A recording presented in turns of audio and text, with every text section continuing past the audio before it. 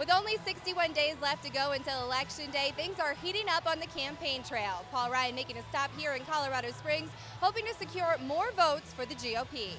Ladies and gentlemen, it's my honor and privilege to introduce the next Vice President of the United States, Paul Ryan.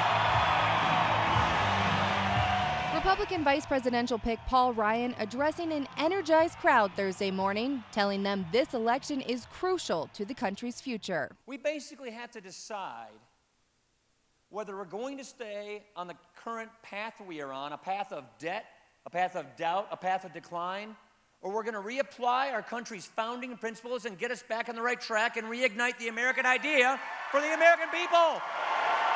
Ryan calling President Obama a politician who has changed his campaign from hope and change to attack and blame. He can blame other people in the past, but he can't tell you we are better off as a nation. He admitted Mr. Obama inherited a tough situation, but criticized him for not making progress during his time in the White House. The president took $716 billion out of Medicare to fund Obamacare. Don't take my word for it. Take the word from the Medicare chief actuary, from the Congressional Budget Office or from arithmetic.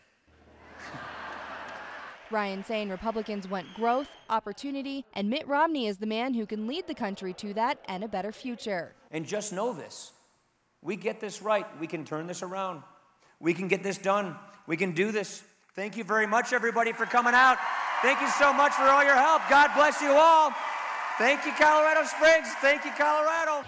After his stop here, Paul Ryan heading to LA, then Nevada on Friday. Meanwhile, Mitt Romney taking a few days off to prepare for his big debate with President Obama October 3rd in Denver. Reporting in Colorado Springs, Abby Burke, Fox 21 News.